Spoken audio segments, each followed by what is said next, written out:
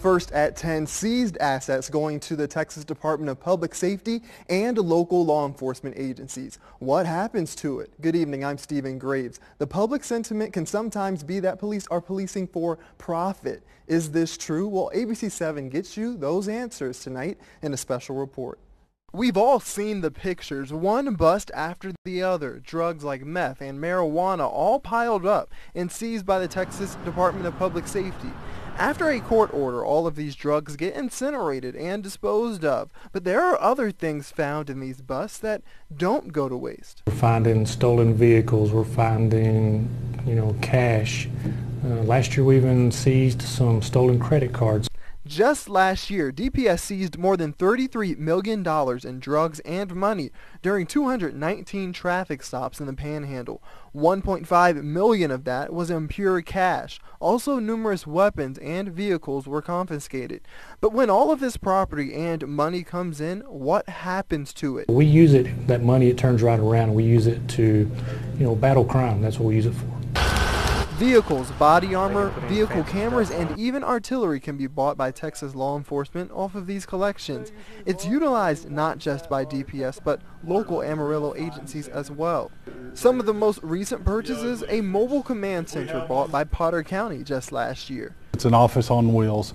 Um, I've been out on several instances since I've been here where we were trying to work off the steering wheel in the front seat of a car and it just doesn't work very well. And the same type of purchase for Amarillo Police. It was a $600,000, $700,000 vehicle uh, that we would not have had access to had it not been those seized funds.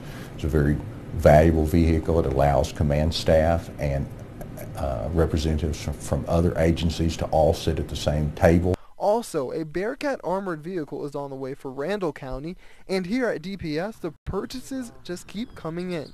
The big question that lingers, though, is how can these agencies just take property and buy their own?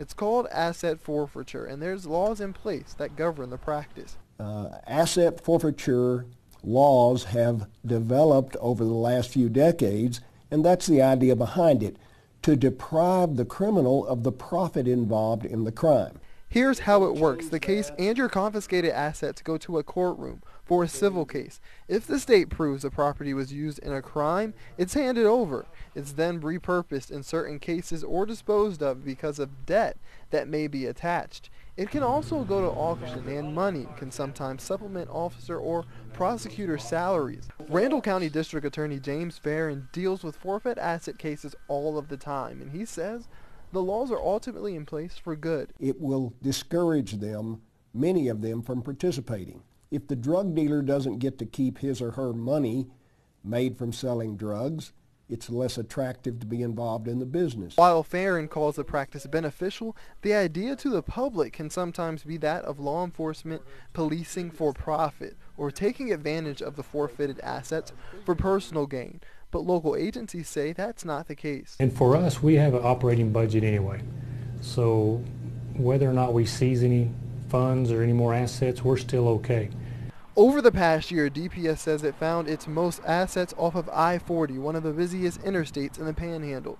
Ray says while he hopes enforcement cuts down on crime, he also wants to make sure people know the reasoning behind it. So we don't just seize it, we actually do a, a, pretty good background and a pretty good uh, a check on it to make sure that it, it will benefit the people of the state of Texas. And the Randall County District Attorney James Farren says there are numerous bills currently in front of the Texas state legislature that would change how the process of asset forfeiture works. To learn more about that, head over to our website, abc7amarillo.com.